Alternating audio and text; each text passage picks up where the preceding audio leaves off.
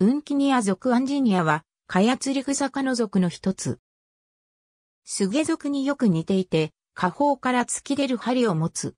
ウンキニア属は日本には分布しない植物で、種として南半球に分布する。その姿は極めてスゲ属のものによく似ている。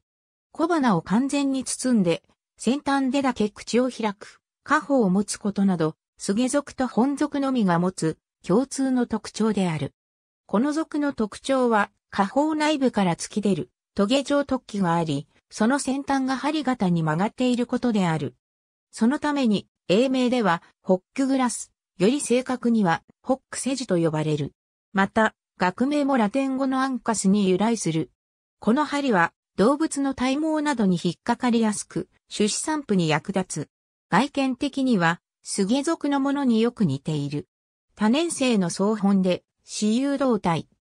茎は株の中心にあって、多数が束になって生じるか、横に這う根茎から互いにある、程度接近して生じる。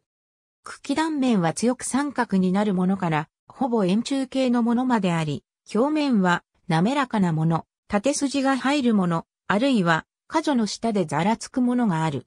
葉は、細長く、平らであるか左右から巻き込み、円と中脈は強くざらつくものが多い。葉の基部にある鞘には、翼はなく、分解して繊維状になるものがある。果樹は、小母の形をとり、茎の先端に一個だけ生じる。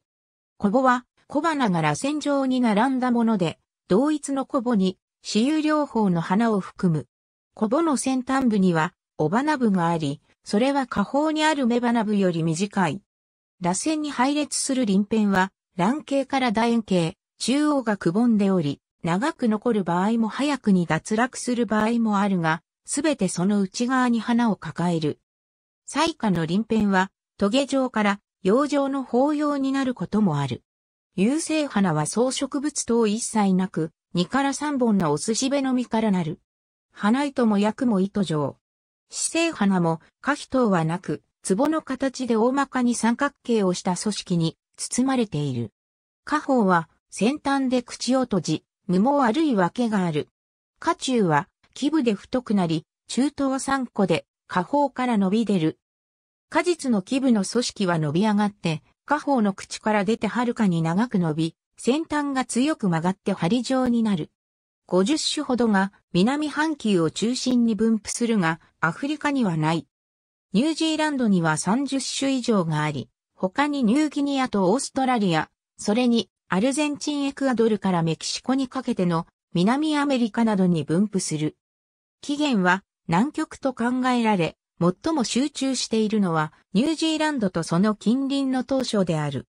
カヤツリグサ科の中で花がすべて男性で、可否変の痕跡等がなく、雌花では単なる雌しべのみが下方に包まれているものは、これを禁煙であるとして、スゲ赤のスゲレンにまとめている。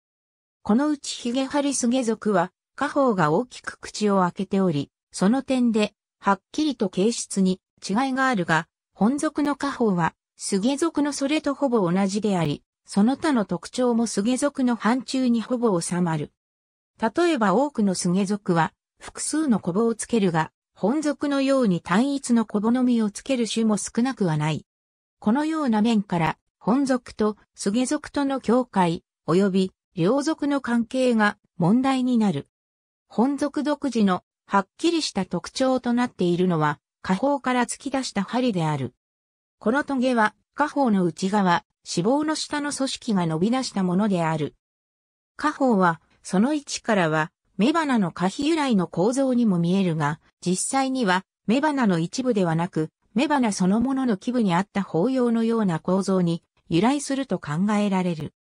それは、例えば稀にではあるが、スゲ属で下方内部の脂肪の下から軸が伸び出し、その先に新たな花を生じる例が見られることからもわかる。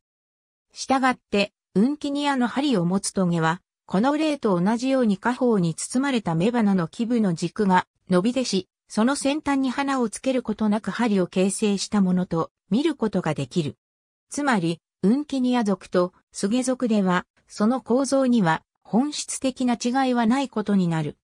もちろん大部分のスゲ属では脂肪の下方の組織が伸び出すことはなく、少なくとも定常的に見られるものではない。ところが、スゲ属の亜属である subgen. Psyllophora のものでは、下方内部に脂肪の下から伸び出したトゲ状の構造が見られる例があり、本属との境界の問題が生じる。さらに sect. Leucoglochin に属する Carex microglochin ではそのトゲ状突起が下方から突出している。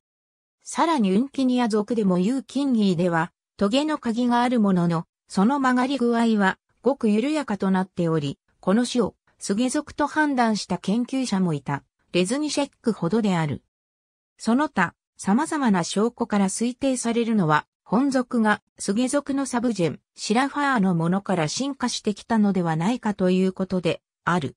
また、ここから本属とスゲ属の関係や分類の見直しが必要かどうかといった考察も行われた。しかし、分子系統的な研究からはこの属の系統は非常によくまとまったクレードを形成した。また、スゲ族との境界に位置すると考えられたユーキンギーも明確にこの軍に位置づけられ、逆にスゲ族の中で本族に関わりがあると考えられた主軍はずっと離れた位置になった。族内の分類としてはまず以下の二つのア族が区別される。近年も新種の記載が行われている。以下に代表的なものを挙げておく。ニュージーランド産のアンジニアルブラは葉が赤くなるために観賞用として庭園などに栽培されており、レッドホックセジと呼ばれている。日本では利用されていないようである。